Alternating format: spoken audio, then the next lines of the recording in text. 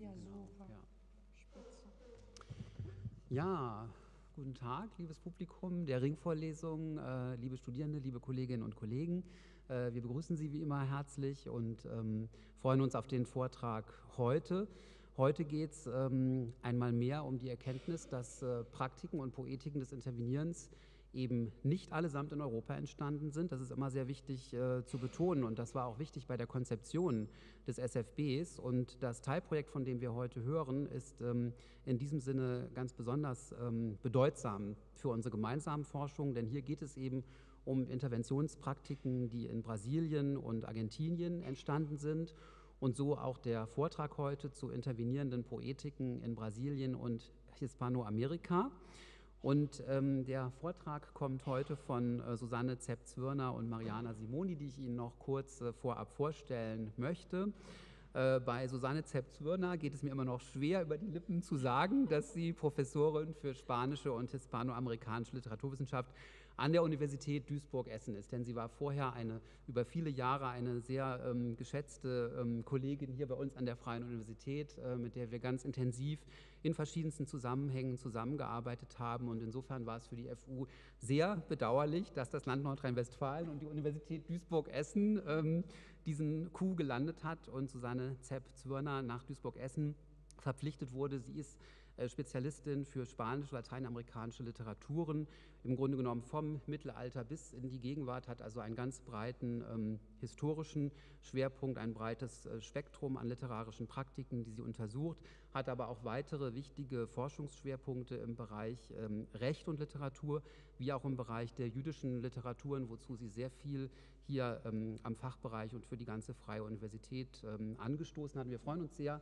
dass wir dich heute einmal wieder hier bei uns haben. Und natürlich haben wir sie auch weiterhin im Sonderforschungsbereich intervenierende Künste, denn da arbeitet sie weiterhin zusammen mit Mariana Simoni. Mariana Simoni ist Juniorprofessorin hier bei uns an der Freien Universität für Literaturen und Kulturen Lateinamerikas mit Schwerpunkt Brasilianistik am Lateinamerika-Institut. Sie ist auch äh, Theater- und Tanzspezialistin, äh, weshalb sich auch viele Kooperationen ergeben mit der Tanzwissenschaft und der Theaterwissenschaft und hat einen weiteren Schwerpunkt im Bereich Literatur und Migration.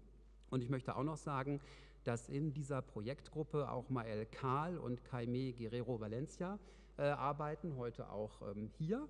Und äh, der Vortrag kommt aber von Susanne Zepp und Mariana Simoni, denen ich jetzt gleich das Wort geben möchte. Bitte schön.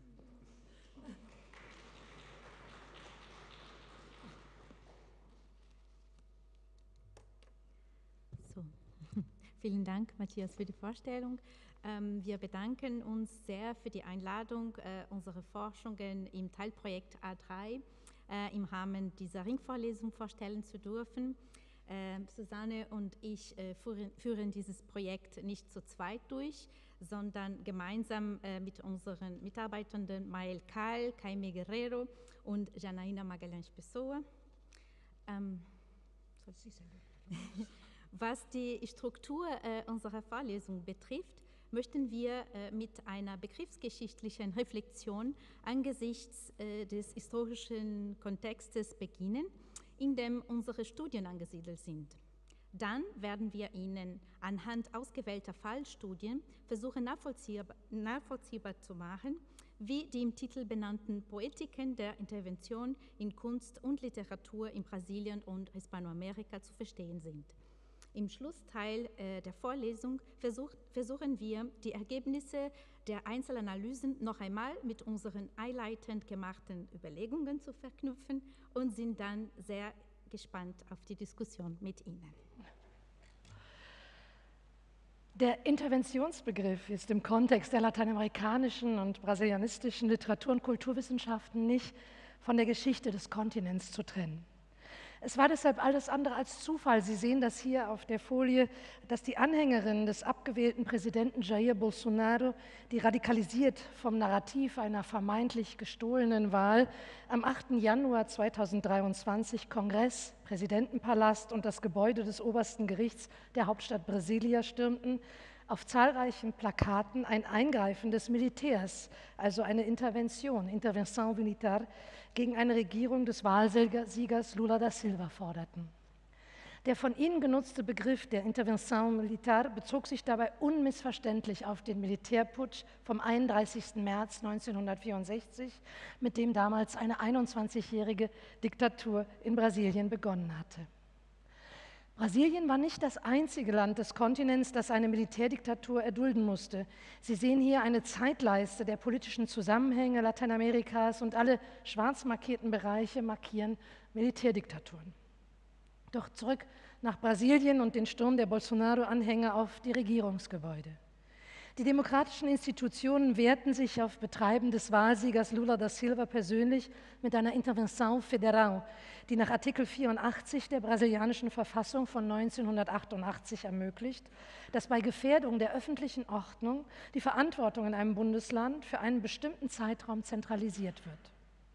Die Verfassung von 1988 war Ergebnis des Ringens um die Redemokratisierung Brasiliens nach dem Militärregime und gehört zu den beeindruckendsten Errungenschaften des Landes, da das Dokument die ethnische und kulturelle Vielfalt Brasiliens zu einem Zeitpunkt rechtlich anerkannte, als andere Länder noch weit von der Umsetzung rechtlicher Gleichheit entfernt waren. Das bedeutet nicht, dass es nicht weiterhin große Desiderate in der Rechtsdurchsetzung der Gleichstellung indigener Gemeinschaften gäbe. Doch verfassungsgeschichtlich unterscheidet dies Brasilien etwa von Chile, wo am 11. September 1973 ebenfalls das Militär geputscht und eine Junta unter der Führung von Augusto Pinochet installiert hatte, die das Land bis zum 11. März 1990 führen sollte. Doch die Verfassung aus Pinochets Zeiten ist weiterhin gültig.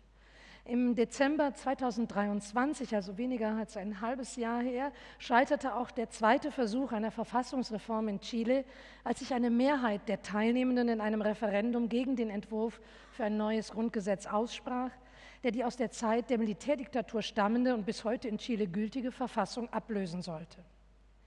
Diese Verfassung vermag nicht, die Rechte indigener Chileninnen zu sichern.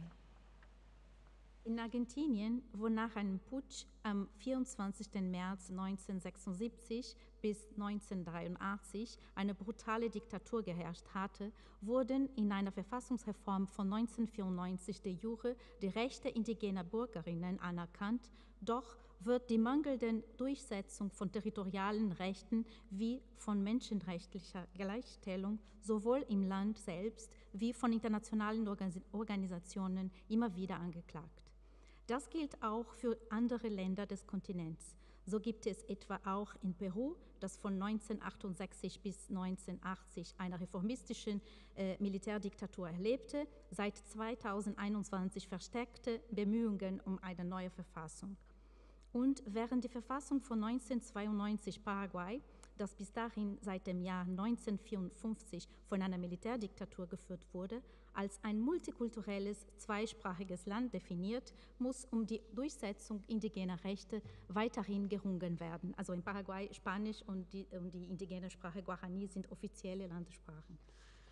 Ähm, Ähnliches gilt im gesamten Kontinent wie darüber hinaus für Kämpfe um Gleichheit, Gerechtigkeit und Souveränität für die Rechte der Nachkommen ehemaliger versklavter Menschen, Frauen und LGBTQI-Personen.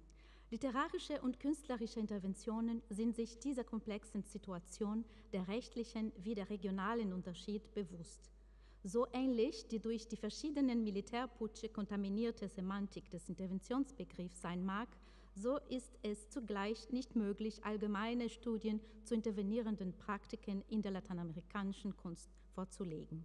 Unsere Vorlesung versucht, wie die einzelnen Forschungsvorhaben in unserem Teilprojekt, der Komplexität des Gegenstands durch Fallstudien aus Brasilien und Hispanoamerika gerecht zu werden, die in jeweils unterschiedlicher Weise das Ringen von Literatur und Kunst um rechtliche Anerkennung und Gleichstellung, aber auch um Rechtsdurchsetzung in demokratischen Verfassungen nachvollziehen.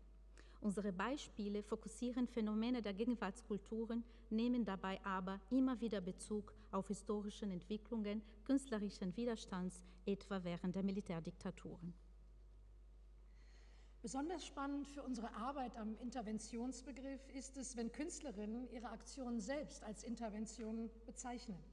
Dies gilt für unsere erste Fallstudie, die aus Chile ist. Sie sehen hier den Titel Intervention Mapuche aus dem Jahre 2018 von der indigenen chilenischen Künstlerin Daniela Catrileo. Wir möchten Ihnen an diesem Beispiel die enge Verflechtung von Forderungen nach Zugang zum Recht, oh, pardon, man hört mich, glaube ich, auch so, aber trotzdem so ist es besser, nach von Forderungen nach Zugang zum Recht und intervenierenden Praktiken in der chilenischen Kunst seit 1973 erinnern. Als im September 2020 bekannt wurde, dass der Mapuche-Schriftsteller Elikura Chihuaylaf den höchsten chilenischen Literaturpreis gewonnen hatte, war dies nur einer von vielen Meilensteinen in einem langen, bis heute andauernden Kampf um die Anerkennung der Rechte der Mapuche in der Öffentlichkeit Chiles. Die Mapuche sind eine indigene Gemeinschaft, deren historisches Territorium sich heute auf die Staaten Chile und Argentinien erstreckt. Sie hatten sich von Beginn an der spanischen Kolonialisierung widersetzt. Seit der Mitte des 16. Jahrhunderts hatten die Mapuche auch ein eigenes staatliches Gefüge, das bis 1883 Bestand hatte. Im Zuge der sogenannten Befriedung Araucaniens, Pacificación de la Araucania, dieser euphemistische Begriff verdeckt die rohe Brutalität eines von 1861 andauernden Eroberungskriegs unabhängig des unabhängig gewordenen Staates Chile, der 1883 mit der Besetzung der Mapuche-Territorien endete, wurden die Mapuche in Reservate zurückgedrängt, die unter 10 Prozent ihres ursprünglichen Territoriums ausmachten. Die Anerkennung ihrer Geschichte und ihrer Rechte ist ein bis heute ungelöstes Kapitel in der Geschichte des Kontinents. Seit 1990 hat der Konflikt zwischen Mapuche-Aktivistinnen und der mit brutaler Härte vorgehenden chilenischen Polizei zahlreiche Todesopfer gefördert. Vor der Präsidentschaftswahl am 21. November 2017 waren die Fronten verhärteter denn je. Nach gewaltsamen Zusammenstößen verhängte der damalige chilenische Präsident Sebastián Piñera am 12. Oktober 2017 den Ausnahmezustand über die Konfliktregion und entsandte 2000 Soldaten in den Süden Chiles. Diese Militarisierung der Region bedeutete eine weitere Verschärfung des Konflikts. Ungeachtet anderslautender Ankündigungen während des gesamten Wahlkampfs beendete der 2022 gewählte Präsident Gabriel Boric nicht die von Piñera angestoßene Politik der Militarisierung gegen Gruppen der Mapuche, die auch mit radikalen Mitteln die Rückgabe des Landes ihrer Vorfahren fordern. Dabei sind die Mapuche-Gemeinschaften in Chile einer systematischen Diskriminierung ausgesetzt, die über Fragen des Landbesitzes weit hinausgeht und auch die kollektiven Rechte betrifft, die in der IOL-Konvention 169 aus dem Jahre 1989, die Chile erst im Jahre 2008 ratifiziert hat, und der Erklärung der Vereinten Nationen über die Rechte indigener Völker von 2007 festgelegt sind. Letztere ist als Resolution der UN-Generalversammlung völkerrechtlich nicht bindend.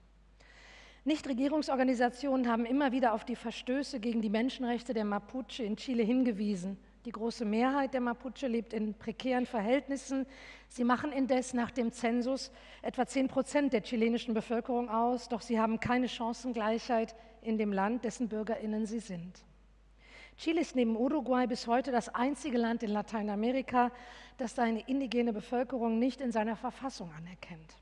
Auch in den Verfassungen von Costa Rica und El Salvador äh, fand sich lange Zeit keine explizite Bezugnahme, doch während El Salvador die verfassungsrechtliche Anerkennung 2014 nachgeholt hat und in Costa Rica die Anerkennung per einfachem Gesetz 2019 festgelegt wurde, erlaubt die chilenische Verfassung, die im Kern, wie gesagt, noch aus der Pinochet-Diktatur stammt, die Verfolgung auch von Mapuche-Personen und das ist das Entscheidende als Terroristinnen. Eine neue verfassungsgebende Versammlung sollte dies ändern, den Mapuche zu ihrer rechtmäßigen Anerkennung und Gleichstellung verhelfen. Den Weg zum neuen verfassungsgebenden Konvent freigemacht hatten breite und langanhaltende Proteste im Oktober 2019 und die überwältigende Zustimmung der Bevölkerung bei einem Referendum am 25. Oktober 2020. Bei der Wahl des Verfassungskonvents der die neue Verfassung schreiben sollte, gewann linke Partei unabhängige Vertreterinnen im Mai 2021 die Mehrheit der Sitze. Im Dezember 2023 wiederum wurde bereits der zweite Neuentwurf der chilenischen Verfassung nach einer Social-Media-Hetzkampagne in einem Referendum abgelegt. Doch die Arbeit an einer neuen Verfassung ist damit nicht zu Ende, sondern der Prozess der Einigung auf eine neue Verfassung geht weiter. Den Weg dorthin haben auch Kunst und Literatur mitgeebnet. Die Proteste 2019 gegen eine Fahrpreiserhöhung in der U-Bahn in der chilenischen Hauptstadt Santiago, verschmolzen mit sozialen Forderungen nach fairen Renten und Löhnen, nach Bildung, Gesundheit, bezahlbarem Wohnraum für alle, auch für die indigenen Mapuche. Die Performances der Gruppe Las Tesis über die Straflosigkeit von Feminizid spielten dabei eine große Rolle und der Wahlspruch, es ist nicht wegen 30 Pesos, sondern wegen 30 Jahren, brachte auf den Punkt, dass es sich nicht um Proteste gegen die Fahrpreiserhöhung als solche handelte, sondern gegen die Politik der Regierungen der mehr als letzten 30 Jahre, also seit dem Übergang Chiles zur Demokratie. In diesem Zusammenhang hat die Künstlerin Daniela Catrileo die Notwendigkeit eines verbesserten Zugangs zum Recht der Mapuche zum Gegenstand ihrer Texte und künstlerischen Praktiken gemacht. Es ist eine zentrale Botschaft ihrer Werke, dass sich indigene Menschen zunächst ihrer Rechte und der Möglichkeiten zur Wiedergutmachung durch das Rechtssystem bewusst sein müssen, bevor sie ihre Ansprüche effektiv äußern und sich rechtlich mobilisieren können. Seit den 1990er Jahren sind verschiedene Aspekte von Mapuche-Dichtung ähm, untersucht worden. Einige Literatur- und kulturwissenschaftliche Studien haben sich vor allem mit der Mündlichkeit des historischen Gedächtnisses der Mapuche befasst. Andere haben die Verbindung der Poesie der Mapuche und ihrer Teilhabe an aktuellen ökopolitischen Zusammenhängen im Süden Chiles analysiert. Wieder andere haben das sprachliche Zusammenspiel von Mapudungun und Spanisch als einen integralen Bestandteil dekolonialen Schreibens interpretiert. Indes die spezifischen rechtlichen Bemühungen von Mapuche-SchriftstellerInnen, die das intervenierende Potenzial der Künste, aber auch den digitalen öffentlichen Raum für eine Verbesserung des Zugangs zum Recht nutzen, sind in diesem Zusammenhang aus unserer Sicht noch nicht ausreichend gewürdigt worden. Daniela Catrileo hat in einer künstlerisch-literarischen Intervention auf eine besondere rechtliche Konstellation aufmerksam gemacht. Das chilenische Antiterrorgesetz stuft bislang bestimmte Straftaten als terroristische Handlungen ein und sieht dafür schwere Strafen vor. Es wurde, Sie sehen es hier, während der Militärdiktatur von Augusto Pinochet 1984 verabschiedet und ist, wie erwähnt, bis heute mit nur geringen Modifikationen in Kraft geblieben. Das Antiterrorgesetz wurde und wird vornehmlich auf Mapuche-Personen angewandt, die im Kampf um die Anerkennung ihrer Rechte und die Rückgabe ihrer angestammten Territorien neben friedlichen Demonstrationen, Landbesetzung, Straßenblockaden durchaus zuweilen auch Brandanschläge auf Landgüterscheunen und Fahrzeuge der Holzindustrie verüben. Das ist schlimm, aber das reguläre Strafrecht hätte dafür Möglichkeiten. Das Gesetz, das auf sie angewendet wird, indes trägt die Nummer 18314 und seine Anwendung hat eine wesentliche Rolle dabei gespielt, die Mapuche als internen Feind Chiles zu brandmarken und die chilenische Gesellschaft mehr und mehr zu spalten. Seit mehr als zwei Jahrzehnten haben die Interamerikanische Kommission und der Interamerikanische Gerichtshof für Menschenrechte sowie der zuständige UN-Sonderberichterstatter immer wieder daran erinnert, dass die überproportionale strafrechtliche Verfolgung von Mapuche-Aktivistinnen vor dem Horizont oder unter dem Antiterrorgesetz ihre Grundrechte markant verletzt. 2018 hat Amnesty International die andauernde Kriminalisierung der Mapuche durch den chilenischen Staat erneut öffentlich kritisiert und auch das Komitee gegen Folter der Vereinten Nationen fordert in einem im August 2018 veröffentlichten Bericht nicht mehr nach dem Antiterrorgesetz gegen Mapuche vorzugehen. Doch das Gesetz, das es erlaubt, Beschuldigte für bis zu zwei Jahren allein in Untersuchungshaft zu nehmen sowie auf Basis anonymer Zeugenaussagen zu verurteilen, ist immer noch in Kraft. Erst wenn eine neue Verfassung selbst in Kraft ist, kann sich dies ändern. 2018 hat die Dichterin Daniela Catrileo mit der Filmemacherin Rocio Chavez Garcia und der Kunsthistorikerin Carolina Herrera Aguila zusammengearbeitet um eine Gedichtperformance mit mehreren Kapiteln, die wir Ihnen heute in Ausschnitten zeigen möchten, mit dem Titel Maripura Baranga Külapataka Marimeli zu schaffen. Der Titel ist die Zahl 18314 in der Sprache der Mapuche in Mapudungun. Diese Zahl entspricht der Nummer, Sie haben es gesehen, des chilenischen Antiterrorgesetzes. Dieses Gedicht war integrativer Bestandteil einer Serie von öffentlichen interventionistischen Performances. Ich lese es Ihnen in Spanisch und Mapudungun und Sie sehen meine Arbeitsübersetzung hinter uns. Oder auch nicht? Jetzt. 18, 314, Maripura Barrangaca, Culiapataca, Marimeli, Ley Antiterrorista. Traduzco al mapudungun los números de la condena, dime, ¿en qué lengua hablarte para que me oigas? Das Gedicht wurde nicht in einem Buch veröffentlicht, sondern von der Künstlerin rezitiert, eingebettet in Performances am Ufer des Mapocho-Flusses, bei denen die Künstlerin am Flussufer lag und ihr Mund von einem Tuch bedeckt war, auf der die Nummer des Antiterrorgesetzes Gesetzes zu erkennen war. Sie sehen hier zumindest die 18. Als weiteren Akt der öffentlichen Intervention ließ sich Daniela Catrileo die Ziffern des Antiterrorgesetzes auf den Rücken tätowieren, allerdings nicht in der kolonial beschädigten Sprache Spanisch, sondern auf Mapudungun. In verschiedenen Performances im öffentlichen Raum Santiagos entblößte, entblößte die Dichterin diese Einschreibung in ihren Körper. Ein weiterer Akt dieser Intervention Mapuche, auch hier die Übersetzung, ähm, hatte eine große Wirkung im chilenischen öffentlichen Raum, nämlich als die Autorin ein Gedicht mit der Anweisung schuf, die Ziffern des chilenischen Antiterrorgesetzes durchzustreichen und damit ungültig zu machen.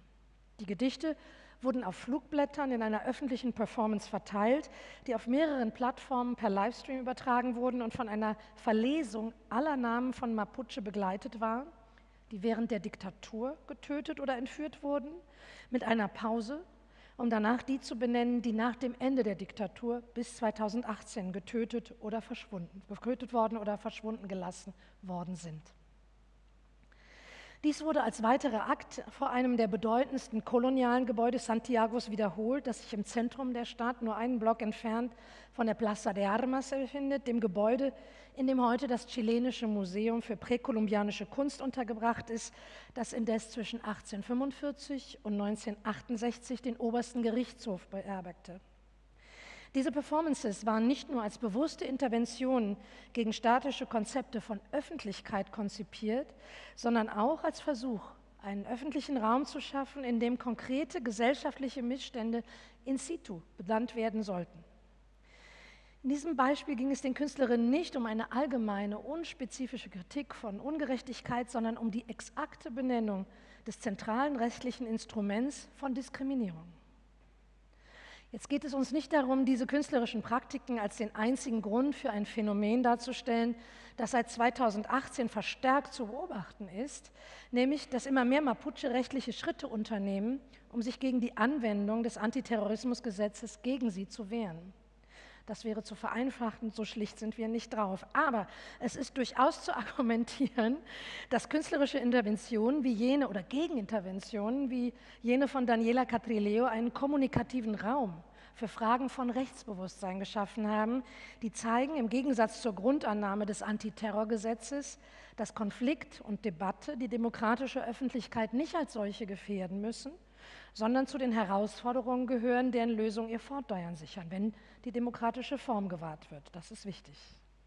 Dass die Intervention Mapuche dabei eine lange Tradition künstlerischen Widerstands in Chile anzuschließen vermochte, reduziert in keiner Weise die Originalität der künstlerischen Verfahren von Daniela Catrileo, sondern im Gegenteil, es sicherte ihren Interventionen im öffentlichen Raum Chiles eine vielfache Resonanz. Denn Schon kurz nach dem Militärputsch am 11. September 1973 waren in Chile Gemeinschaftsinitiativen entstanden, die schnell zu Räumen des Widerstands werden sollten.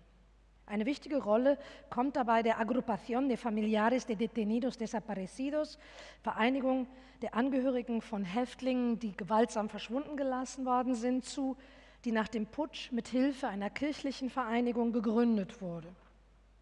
Diese Institutionen forderten in unterschiedlichen Interventionen im öffentlichen Raum die Aufklärung des Schicksals der durch das Pinochet-Regime gewaltsam verschwunden gelassenen Personen. Und Sie kennen sicher etwas Ähnliches von den Madres und äh, de la Plaza de Mayo in Argentinien, in Buenos Aires.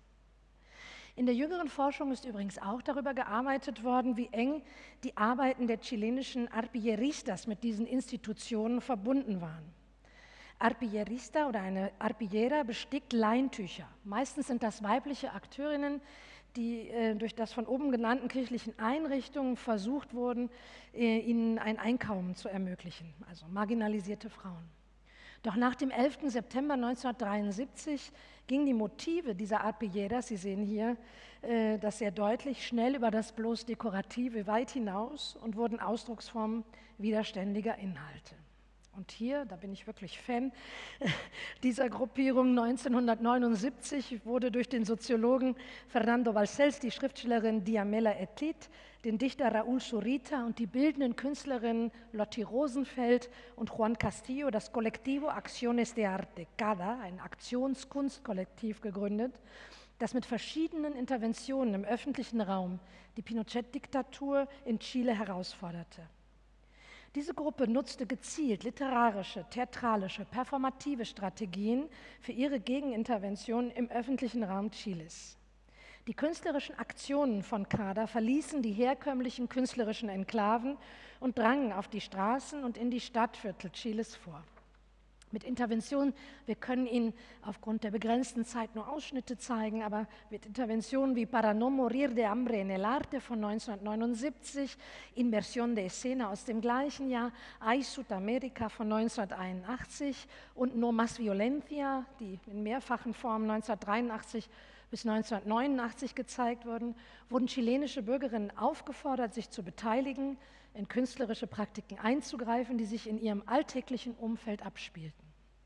Sie waren kollektive Aufforderungen, die Unzulänglichkeiten und den Terror des diktatorischen Regimes anzuprangern, das zu jener Zeit die politische, soziale und kulturelle Realität des Landes prägte.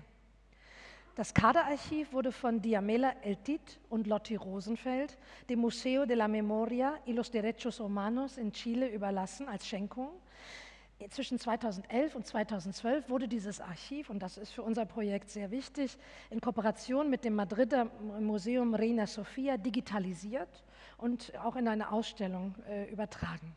Diese sowie der von Fernanda Carvajal, Paulina Barras und Jaime Windel herausgegebene Ausstellungskatalog waren ein wichtiger Anstoß für die Literatur- und Kulturwissenschaften, sich endlich mit diesen Interventionen zu beschäftigen. Sie sehen, Daniela Catrileo konnte sich also mit ihrer Intervention Mapuche im Jahre 2018 auf eine lange Tradition widerständiger Interventionen in Chile beziehen und zugleich ganz eigene Akzente setzen. Bevor wir zu den nächsten Fallstudien übergehen, wollen wir uns kurz an äh, einen wichtigen offenen Brief, den Guarani Kiowa-Brief, anschauen, der 2012 auf der CIMI-Website, äh, äh, Conselho Indigenista Missionário, veröffentlicht wurde. Als Text zur Bekämpfung von Menschenrechtsverletzungen ist dieser Brief ohne Zweifel einer der Texte mit den größten Auswirkungen auf die brasilianische Gesellschaft des 21. Jahrhunderts. Wir halten ihn für grundlegend für das Verständnis des Verhältnisses von Literatur oder Kunst und Land genauer gesagt für die Erkenntnis, dass der Rechtsanspruch auf Land immer auch mit dem Anspruch auf das Territorium der Literatur oder der Kunst selbst verbunden ist. Dieser Aspekt ist für die Betrachtung der zeitgenössischen indigenen künstlerischen Produktion in Lateinamerika von zentraler Bedeutung. Und wenn ich mich hier auf zeitgenössische indigene Kunst beziehe, folge ich einer Begrifflichkeit, die der Künstler Denilson Baniwa als Strategie verwendet, um gleichzeitig auf beide Territorialitäten Anspruch zu erheben. Ähm, Im Portugiesisch bedeutet äh, das Wort Terra zugleich ähm, Land und Erde. Ne? Der Brief der, von einem kollektiven Wir verfasst wurde, das nicht einfach als Guarani Kiowa Gemeinschaft aus dem Pielito Cui Mabracayera Tecoa, sondern ganz spezifisch als 50 Männer, 50 Frauen und 70 Kinder unterzeichnet hat, war in, an die brasilianische Regierung und die Justizbehörden gerichtet und entstand als Reaktion auf die vom Bundesgerichtshof selbst erlassene Anordnung, die Gemeinschaften von den Ufern des Flusses Rovi in Mato Grosso do Sul zu vertreiben, in der Nähe ihres traditionellen Territoriums Pielitoque Maracay wo sie seit über einem Jahr unter prekären Bedingungen lebten, nachdem die Integrität ihres traditionellen Territoriums durch eine Reihe von staatlichen, rechtlichen und privaten Maßnahmen in den letzten Jahrzehnten des 20. Jahrhunderts immer wieder massiv verletzt worden war. In dem Schreiben wurde ihr kollektiver Tod gefordert, war zu einem Aufschrei im öffentlichen Raum führte, die durch die Presse und die zunehmende Nutzung sozialer Medien noch verstärkt wurde. Äh, lassen Sie mich aus dem Brief zitieren. Ich lese äh, auf äh, brasilianisch und Portugiesisch. Sie sehen hinter mir, unsere Arbeitsübersetzung ist Deutsch. De fato, sabemos muito bem que no centro desse nosso território antigo estão enterrados vários dos nossos avós, avós, bisavós e bisavós. Ali estão os cemitérios de todos os nossos antepassados. Cientes desse fato histórico, nós já vamos e queremos ser mortos e enterrados junto aos nossos antepassados, aqui mesmo onde estamos hoje. Por isso, pedimos ao governo e Justiça Federal para não decretar a ordem de despejo ou expulsão, mas solicitamos para decretar a nossa morte coletiva e para enterrar nós todos aqui. Pedimos, de uma vez por todas, para decretar a nossa dizimação e extinção total, além de enviar vários tratores para cavar um grande buraco para jogar e enterrar os nossos corpos. Esse é o nosso pedido aos juízes federais. Juízes federais. Já aguardamos essa decisão da Justiça Federal. Decretem a nossa morte coletiva Guarani, Kaiowá, de Pielito Cui, Maracai, e enterrem-nos aqui, visto que decidimos integralmente a não sairmos daqui com vida e nem mortos. Sabemos que não temos mais chance em sobreviver dignamente aqui em nosso território antigo. Já sofremos muito e estamos todos massacrados e morrendo em ritmo acelerado. Sabemos que seremos expulsos daqui da margem do rio pela justiça, porém não vamos sair da margem do rio. Como um povo nativo indígena histórico, decidimos meramente em, ser em sermos mortos coletivamente aqui. Não temos outra opção.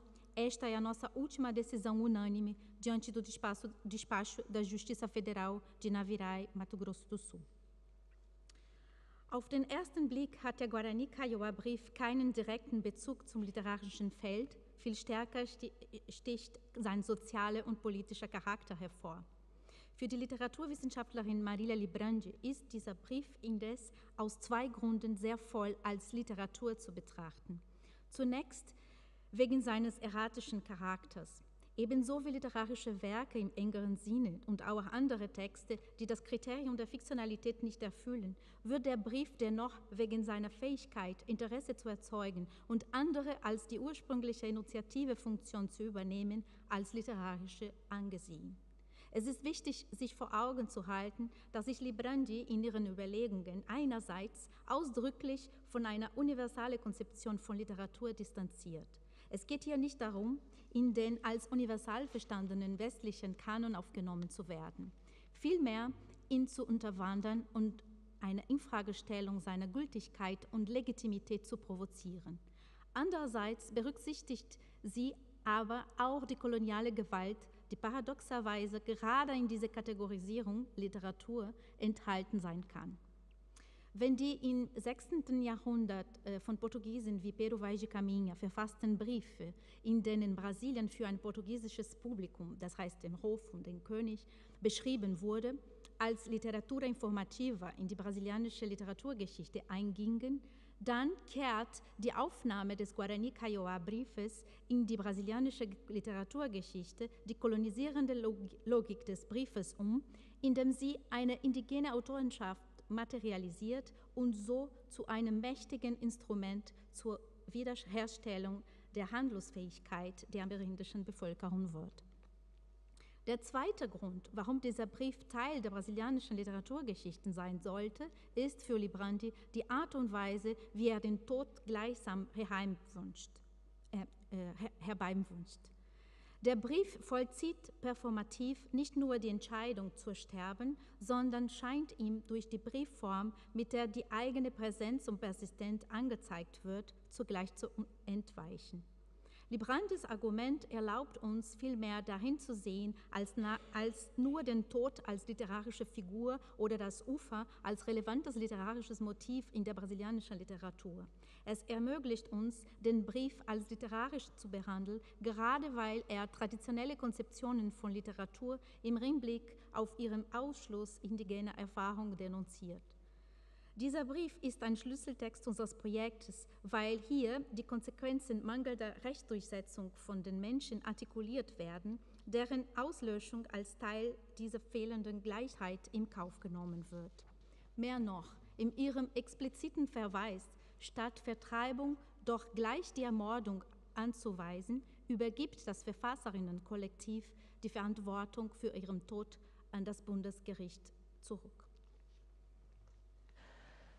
Unser drittes Fallbeispiel fokussiert die afro-peruanische Kunst mit einer Intervention der 1922 geborenen Victoria Santa Cruz, die als Dramatikerin, Dichterin, Komponistin und Musikerin, Choreografin und Tänzerin die Kultur Perus wesentlich mitgeprägt hat. Ihr Vater Nicomedes Santa Cruz hatte von seinem 6. bis 35. Lebensjahr in den Vereinigten Staaten gelebt und war ein einflussreicher Dramatiker. Die Kinder lernten von ihrem Vater die englische Sprache, sie lernten Shakespeare kennen und die klassische Musik. Auch die Mutter war eine versierte Tänzerin, Sängerin peruanischer Stile und sie war die Tochter des bekannten Malers José Milagros Gamarra. Von klein auf lernte Victoria Santa Cruz von ihrer Mutter das Tanzen, engagierte sich in Theater und Kunst. Im Alter von zwölf Jahren führte sie bereits Regie, choreografierte Theaterstücke und Tänze an ihrer Schule. 1959 wurde Victoria Santa Cruz zusammen mit ihrem Bruder Nicomedes Co-Direktorin der afro-peruanischen Theatergruppe Cumaná. Zu dieser Zeit wurde in der Öffentlichkeit behauptet, dass alle schwarzen PeruanerInnen in der größeren Criollo-Kultur an der Küste mit ihren europäisch geprägten kulturellen Praktiken und Traditionen aufgegangen seien und recht eigentlich keinen eigenen Wert mehr für die peruanische Geschichte hätten. Victoria und die Comede Santa Cruz waren in den 1960er Jahren die führenden Figuren einer Renaissance des afroperuanischen Theaters, der Musik, des Tanzes und der Poesie, die die Marginalisierung afroperuanischer Geschichte umkehrte, indem sie vergessene Genres und Ausdrucksformen des schwarzen peruanischen Kulturerbes rekonstruierten und in den renommiertesten Theatern Limas aufführten. Mit einem Stipendium der französischen Regierung studierte Victoria Santa Cruz von 1961 bis 1966 in Paris an der Université du Théâtre des Nations und der École supérieure d'études chorégraphiques. In Paris erhielt sie einen Preis für, ihre Kostüm, für ihr Kostümdesign für El Retablo de Don Cristobal von Federico García Lorca. Außerdem war sie auch als Kostümbildnerin für La Rosa de Papel von Ramón de Valle Inclán tätig, bei dem übrigens ihr argentinischer Kommilitone Victor García Regie führte, Regie führte, der später während der Militärdiktatur in Argentinien gewaltsam verschwunden gelassen wurde.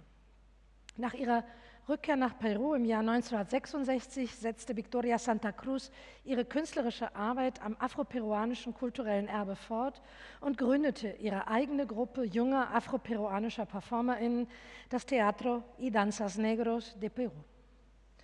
Das Ensemble trat übrigens bei den Olympischen Spielen 1968 in Mexiko aus, tourte durch Mexiko selbst, Venezuela, Kolumbien, Vereinigten Staaten.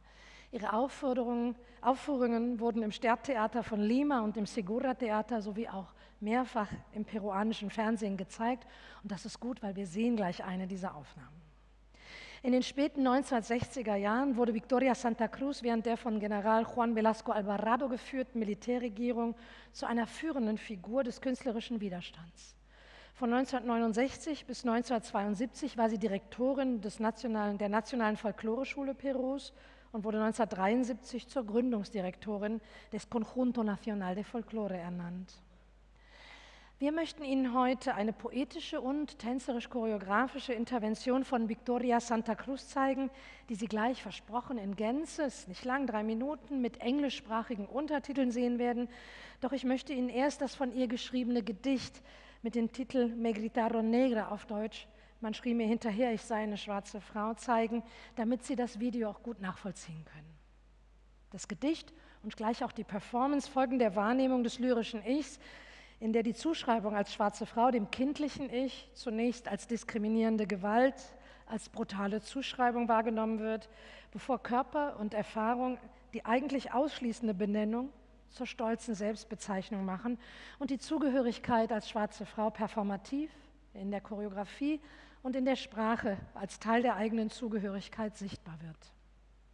Im ersten Teil des Gedichts, den Sie hier sehen, erinnert sich das lyrische Ich an die ersten Male, in dem es in pejorativer Absicht als Negra angeschrien wurde. Damals war es sieben, nein, korrigiert es sich kaum fünf Jahre alt. Das wird als tiefe Erschütterung dargestellt, die das weibliche lyrische Ich dazu bringt, sich in sich zurückzuziehen. Ich wich in mich zurück so heißt es im Gedicht. Sie sehen die Wiederholung dieses Verses am Ende der Folie. In einem zweiten Teil des Gedichts wird der verzweifelte Versuch der Assimilation an eine nicht schwarze Mehrheitsgesellschaft beschrieben, der indes scheitert, denn ganz gleich, wie sehr sich das lyrische Ich anpasst, es wird weiter essentialisiert. Hier sehen Sie den Wendepunkt des Gedichts Ike, den Moment, die ersten Verse, in dem sich das lyrische Ich fragt, ja und wenn schon, natürlich bin ich eine schwarze Frau und die abfällige Fremdbezeichnung zu einer neuen, stolzen Selbstbezeichnung wendet. Und der letzte Teil des Gedichts feiert diese stolze Selbstbezeichnung im Dialog mit dem Chor, der nicht mehr die Beleidigung reproduziert, sondern die Zugehörigkeit feiert. Das Spannende ist, diese Intervention ist bereits 46 Jahre alt. Sie stammt aus dem Jahr 1978. Und jetzt, wo Sie den Text kennen, möchten wir Ihnen gerne die Intervention auch zeigen. Es ist eine Fernsehaufzeichnung aus einem peruanischen öffentlich-rechtlichen Sender, die jemand netterweise auf YouTube gestellt hat und dann mit englischen Untertiteln versehen hat. Aber das, sie sind nicht von uns, das merken Sie auch gleich. Indes hilft es Ihnen vielleicht, die Performance nochmal so nachzuvollziehen, wie wir uns das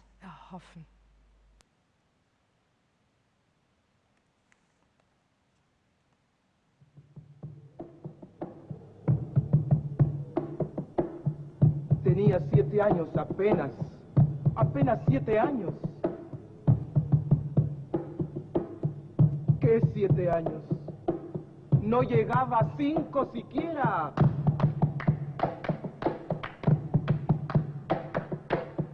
De pronto unas voces en la calle me gritaron, negra. ¡Negra! ¡Negra! ¡Negra! ¡Negra! ¡Negra! ¡Negra! ¡Negra! ¿Soy acaso negra? Me dije. Sí. ¿Qué cosa es ser negra? ¡Negra!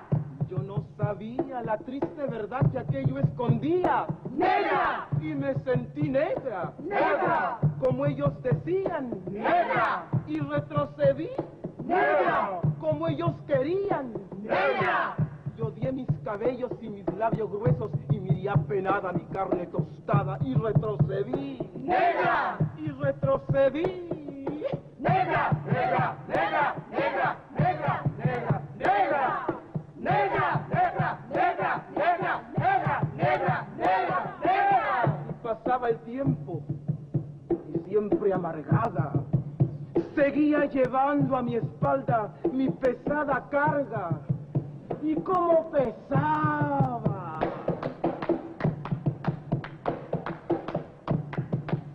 Me alací el cabello, me volvé la cara y entre mis entrañas siempre resonaba la misma palabra. ¡Negra! ¡Negra! ¡Negra! ¡Negra! ¡Negra! ¡Negra! ¡Negra! Hasta que un día que retrocedía, retrocedía y que iba a caer, negra, negra, negra, negra, negra, negra, negra, negra, negra, negra,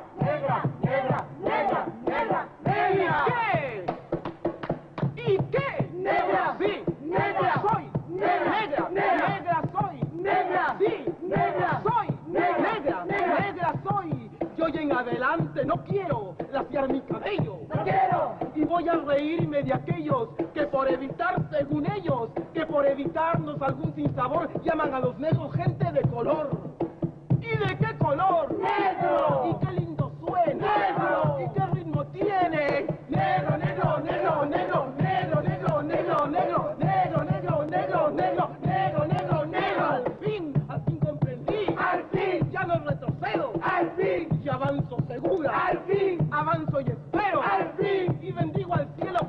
Dios que negro azabache fuese mi color y ya comprendí. Al fin, ya tengo la llave. Negro, negro, negro, negro.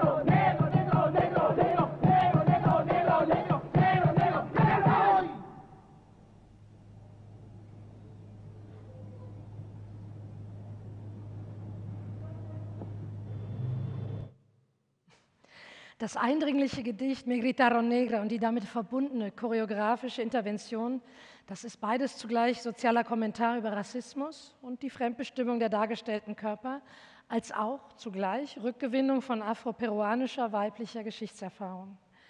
Santa Cruz wiederholte Verwendung des Wortes negra nimmt das Wort, das als Beleidigung gemeint war, und verwandelt es in ein stolzes Wort, das im Chor der Tanzenden widerhallt. Die rassistische Semantik wird dem spanischen Begriff durch die sprachliche und tänzerische Intervention wie ausgetrieben und mit einer neuen emanzipatorischen Bedeutung versehen. Mit unseren nächsten Fallstudien kommen wir vom Gedicht und Choreografie zu Erzählen zum Narrativen. Aufgrund ihrer grundlegenden Rolle im Widerstand gegen die Militärdiktatur kommen, äh, kommt den Künsten im öffentlichen Raum Brasiliens bis heute eine differenzielle Bedeutung zu. Legitimierte in den 90er Jahren bereits die, schlicht, die schlichte Tatsache, des Erzählens von bislang nicht wahrgenommenen Erfahrungsgeschichten und Zugehörigkeiten, so eröffnet heute die Vermittlung zwischen nicht hegemonialen Wissensformen und der westlichen Kultur künstlerischen Diskursen zusätzliche Bedeutungsebenen und erweitert ihr Potenzial. In diesem Sinne garantiert die Vermittlung die Überwindung von starrer Identitätszuschreibungen und die reduktive Interpretation ihrer Autorinnen als bloß erzählende Menschen. Wenn Erzählungen indigener und schwarzer Frauen nach langen Zeiten des Schweigens zum strukturellen Rassismus in der brasilianischen patriarch patriarchalischen Gesellschaft heute performative Funktion besitzen, indem sie durch ihre Äußerungen Zeugnis von der eigenen Existenz ablegen und sich so gegen das Schweigen und den Ausschluss indigener und schwarzer Frauen im literarischen Feld auflehnen, besteht die Herausforderung, Ästhetik und Politik miteinander zu verwerben, dabei weiter auch um auf nicht reduktive und nicht dichotomische Weise die auf ausgrenzenden Strukturen gewachsenen Polarisierungen zu überwinden. Eliane Potiguara ist eine der wichtigsten Referenzen für die neue Generation indigener Schriftstellerinnen in heute Brasilien, heutigen Brasilien. Sie wurde 1950 geboren und bezeichnet sich selbst als äh, Überlebende der indigenen Gruppe der Potiguara. Sie hat an der Universidade Federal do Rio de Janeiro einen Abschluss in Pädagogik gemacht und ist Gründungsmitglied der Vereinigung Grumim Grupo Mulher Educação Indígena. Die Gründung dieser Vereinigung 1985, die sich als indigenes Kommunikationsnetzwerk äh, bezeichnet, war eine wichtige Etappe in Eliane Potiguaras Engagement gegen Gewalt an indigenen Frauen, welches schon sehr viel früher in den 70er Jahren, also inmitten der Militärdiktatur, begonnen hatte. Die Autorin betrachtet sich selbst als Autodidaktin in Sachen indigene Rechte. Sie hat indes an jener Arbeitsgruppe der Vereinten Nationen in Genf teilgenommen, die die allgemeine Erklärung der Rechte indigener Völker ausgearbeitet hat. Sie ist in diesem Bereich auf nationaler und internationaler Ebene aktiv und sichtbar. Ihr Buch Metade Cara, Metade Máscara, auf, Deutsch halb Gesicht, halb Maske, vereint äh, Texte, die die Autorin seit den 70er Jahren verfasst hat und gilt als das erste Werk, äh, das erste Werk einer indigenen Autorin in portugiesischer Sprache, das in akademischen und literarischen Kreisen Aufsehen erregt hat. Im Jahr 2004, als die erste Ausgabe veröffentlicht wurde, war es eines der wenigen literarischen Werke einer Autorin, die durch dieses Projekt historischer und kultureller Wiederaneignung ihrer indigenen Zugehörigkeit zurückfordert. Die Präsentation und die Einleitung verliehen dem Werk einen doppelten Rahmen, den der indigenen Traditionen und den des brasilianischen Literatursystems. Die erste Einleitung von Daniel Munduruku, der um das Jahr 2004 zweifellos der bekannteste indigene Schriftsteller war, verortete das Buch in der Reihe Indigenen Visionen des Verlags Global. Die zweite Einleitung von Graça Grauna, äh, Professorin für Literaturwissenschaft an der Universidade Federal de Pernambuco, unterstrich, äh, unterstrich den literarischen Status der Veröffentlichung. Das Buch von Eliane Potiguara verpflichtet eine Vielzahl von Stimmen und Genres, Autobiografie, Zeugnis, Chronik, Poesie, poetische Fiktion, die das symbolische Universum indigener Mythen heraufbeschwört. Die, äh, das wird äh, verdichtet im Bild der Maske, der in amazonischen Mythen eine transformative und heilende Kraft zugesprochen wird. Diese Kraft schreibt die Autorin auch der Literatur zu. Die Konstruktion indigener Identität ist hier eng mit dem Prozess literarischen Schreibens verbunden. Die Vielzahl von Stimmen entsteht auch als Widerhall der Stimme von Einzelnen oder eines Kollektives. Trudeau Rico hat diese Dynamik von Individualität und Kollektivität so verstanden, dass damit ein Wandel in der Geschichte der indigenen Literatur in Brasilien markiert wird, der mit, der, der mit äh, Schriftstellerinnen einsetzt, die nicht mehr ausschließlich mit kollektiver Stimme sprechen, sondern mit eindeutig individuellen Stimmen. In, Potiguara Werk, in Potiguaras Werk stehen diese Dimensionen in einem Spannungsverhältnis zueinander. Durch die Vermischung, die Vermischung der Erzählung ihrer eigenen Geschichte und der ihrer Familie mit historischen Informationen über die Invasion indigener Gebiete seit Beginn der kolonialen Geschichte bis heute erscheint Potiguaras Geschichte zugleich partikular und kollektiv auch weil die Berichte über Gewalt, Armut und Menschenrechtsverletzungen von indigenen Frauen zum Erwartungshorizont gehören. Ein Beispiel dafür ist das Epigraph, in dem die Autorin in der ersten Person spricht und zugleich auf die Vernichtung der indigenen Bevölkerung durch die Kolonisierung verweist. Äh, ich lese äh, nochmal ähm, ähm, auf brasilianisch und Portugiesisch und Sie können äh, sehen hinter mir unsere Übersetzung ins Deutsche.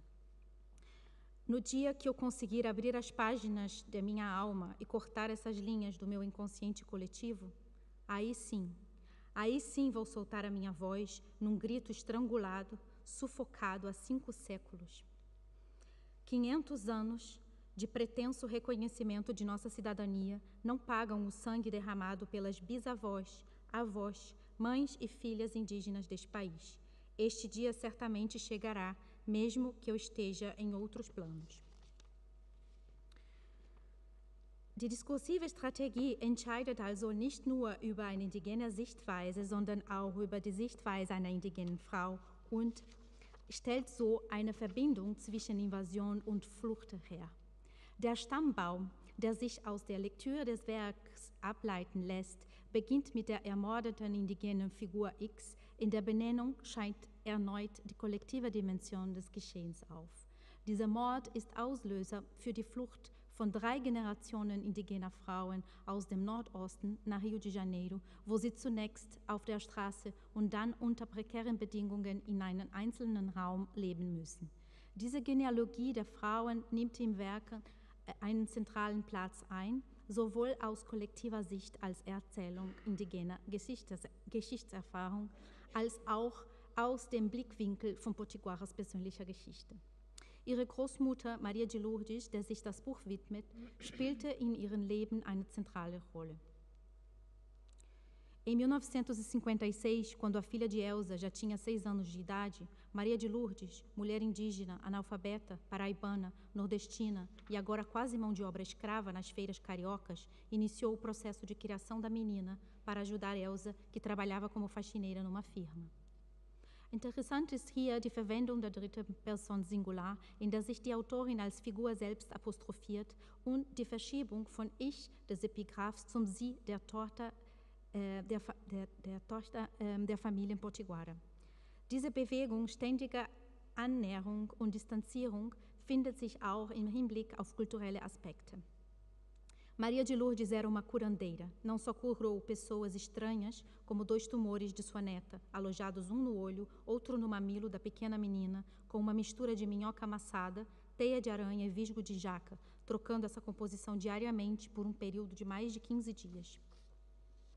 Das Werk besteht aus sieben über die allegorischen Figuren Jurupiranga und Kunyatai miteinander verbundenen Teilen, die eine zirkuläre zeitliche Dynamik mythischen mythischer Geschichten erzeugen und zugleich in die Zukunft weisen. Die Heterogenität dieses Zeitregimes zeigt sich auch in der Räumlichkeit, die in dem Werk entsteht.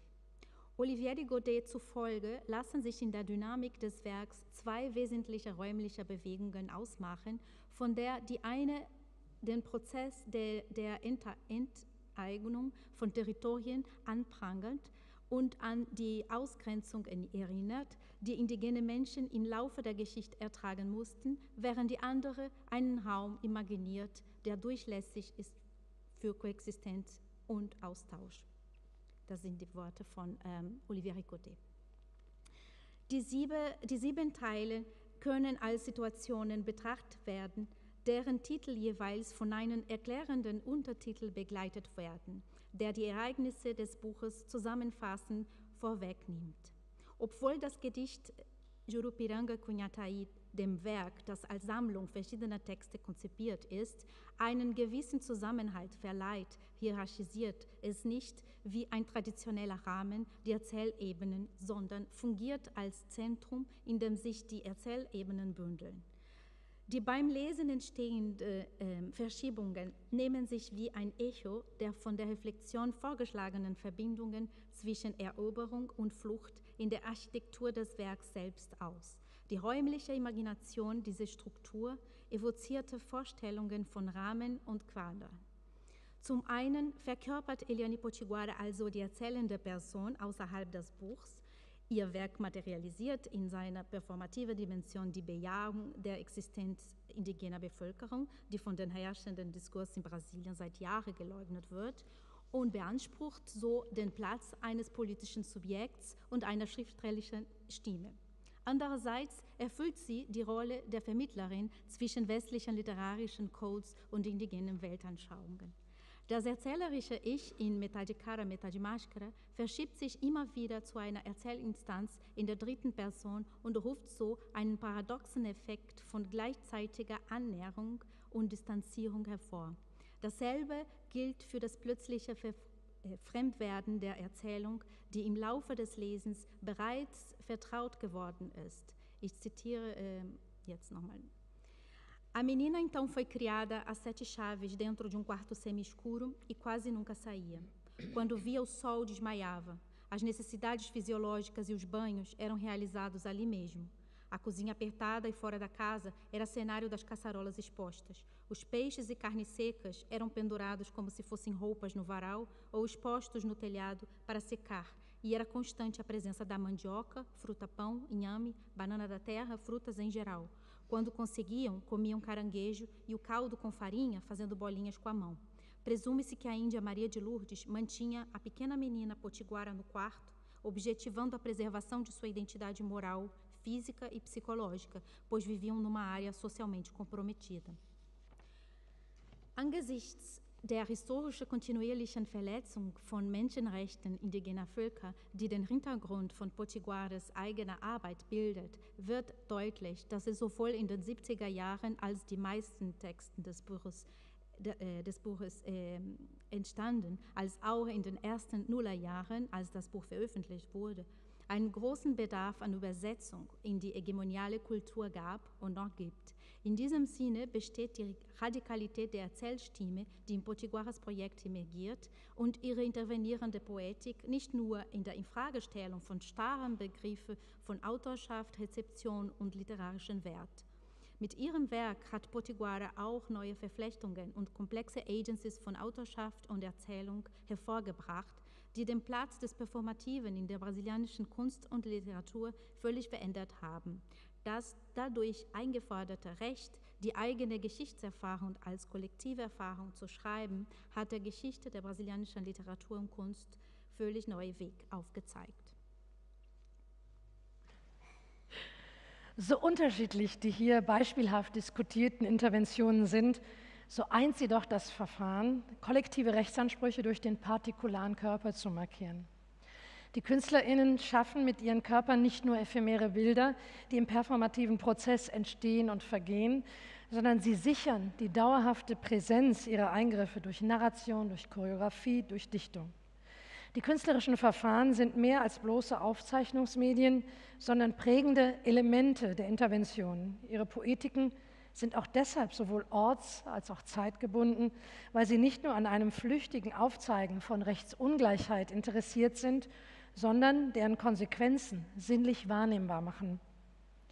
Der offene Brief, in dem ein kollektives indigenes Wir vom Bundesgericht anstelle der angeordneten Vertreibung gleich die Ermordung forderte, verknüpft das aktuelle Ereignis mit der Vergangenheit, Gegenwart und Zukunft der kollektiven indigenen Geschichte Brasiliens.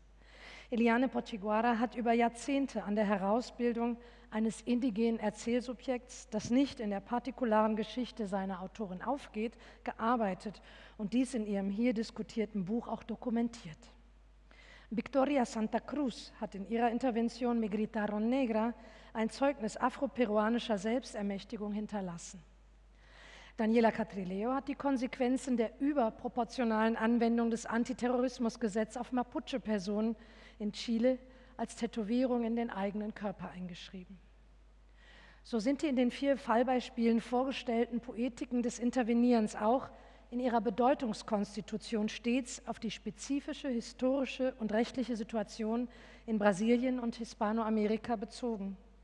Sie unterscheiden das jeweils spezifische Unrecht, entziehen sich dabei aber bewusst einer agonalen Logik, die Formen der, des Unterdrückens und mangelnden Zugang zum Recht hierarchisierend wertet. Indigene und schwarze Erfahrung wird nicht mit anderen Erfahrungen in Konkurrenz gedacht, sondern die Notwendigkeit der Anerkennung dieser Erfahrung unterstrichen. Mehr noch, die Interventionen, mit denen wir im Projekt arbeiten, sind sich sämtlich der Untiefen solch einer Agonalität bewusst. Um diesen Aspekt nachzuvollziehen, hilft es vielleicht, sich vor Augen zu führen, dass es beispielsweise in Brasilien unter Bolsonaro gezielte Desinformationskampagnen gegen indigene, schwarze, feministische, LGBTQI-Brasilianerinnen gab, die mit hasserfüllten Verschwörungserzählungen und Fake News versuchten, die Gesellschaft und, äh, zu spalten und das Vertrauen in die Verfassung und in die staatlichen Institutionen zu zerstören. Weder haben die Wahlverlierer aufgehört, die sozialen Medien mit solchen Kampagnen zu überziehen, noch, das wissen Sie, handelt es sich dabei um ein auf Brasilien beschränktes Phänomen. Antidemokratische Bewegungen sind nicht nur in Lateinamerika, sondern weltweit damit befasst, durch gezielte Hasspropaganda unterschiedliche Erfahrungen als vermeintlich weniger oder mehr wert gegeneinander aufzuhetzen. Die intervenierenden Poetiken in Brasilien und Hispanoamerika, die hier beispielhaft diskutiert wurden, entziehen sich dezidiert diesem agonistischen Vergleich. So ist bei der im Verstehensprozess erschlossenen Bedeutung der hier diskutierten Interventionen grundsätzlich zwischen verschiedenen, aber miteinander verbundenen Bedeutungsaspekten zu unterscheiden, dem konkreten Handeln und Sagen des partikularen Körpers, der im Mittelpunkt der Intervention steht, die je unterschiedliche koloniale wie zeitgenössische Geschichte und dem auf die kollektive Rechtsungleichheit, Rechtsungleichheit bezogenen Aussagegehalt.